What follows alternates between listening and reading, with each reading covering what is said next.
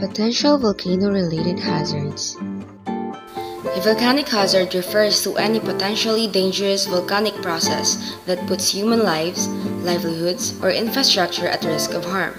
Several hazards may affect the area around the volcano, such as lava flows, pyroclastic flows, lahars, and landslides or debris avalanches. During an eruption, most tephra will fall to the ground around the volcano. This can load to buildings' roof and obscure road markings, making travel difficult. The loading of tephra on leaves can lead to the burial of plants or the stripping of branches from trees, resulting in a significant impact on agriculture.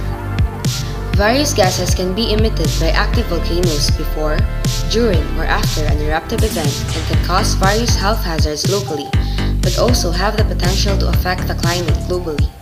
The five main gases that pose a threat to health are carbon dioxide, hydrogen chloride, hydrogen fluoride, hydrogen sulfide, and sulfur dioxide. Lava flows are flows of magma extruded onto the surface of a volcano. In general, it is rare for lava to cause a direct loss of life because it usually flows slowly, allowing sufficient time for people to be evacuated. It does, however, destroy everything in its path by a combination of burial, crushing, and heat. Such eruptions are also associated with emission of volcanic gases and aerosols. Lava domes form when high viscosity lava is slowly erupted from a volcano. Because of the high viscosity of the lava, it cannot travel far from the vent and a dome of lava builds up. These lava domes are particularly hazardous as they tend to be unstable and can collapse, causing pyroclastic density currents.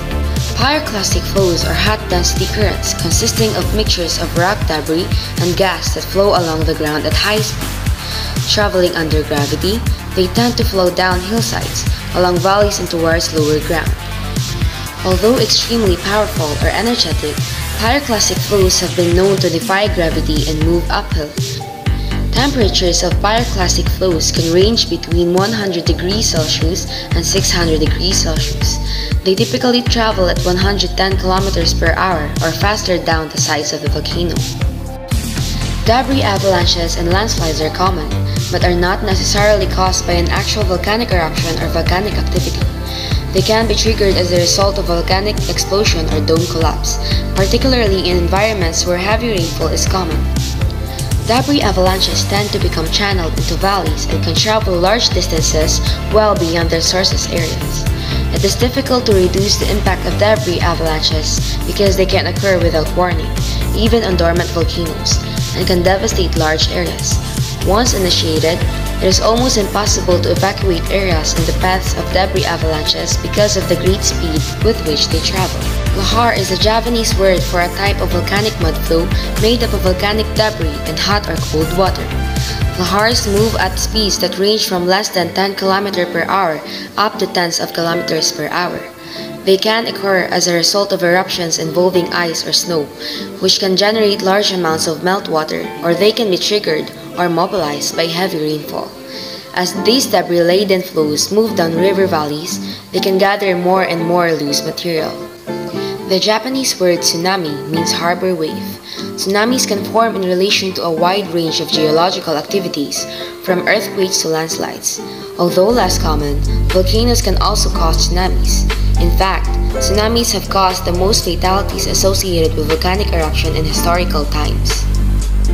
Signs of an impending volcanic eruption 1. Increase in seismic activity 2. Deformation of volcano 3 gases that come out of fumaroles. 4. If plants nearby die suddenly, if the color of any lakes or ponds nearby changes. 5.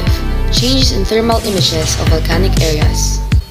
Appropriate measures or interventions before, during, and after a volcanic eruption. Before a volcanic eruption, 1. Each one should be aware of the dangers that volcanic eruptions pose to lives and be prepared to face whatever circumstances that eruption may bring. 2.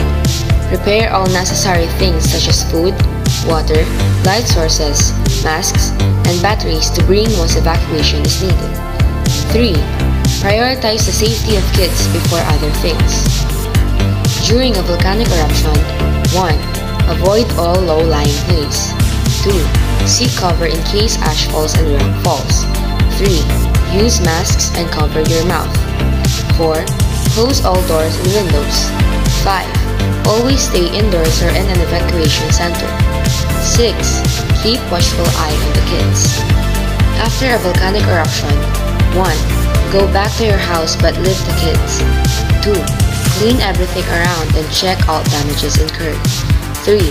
Use masks while cleaning ash and other debris. 4. Wait for the further announcements. 5. Make sure that your house is still safe for all of you. Why does vinegar react with baking soda? They react because one is a base while the other is an acid.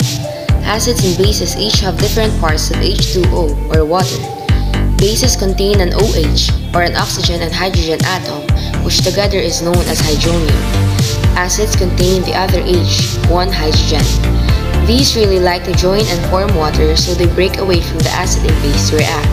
In our case, baking soda is sodium bicarbonate, a base, and vinegar is diluted acetic acid.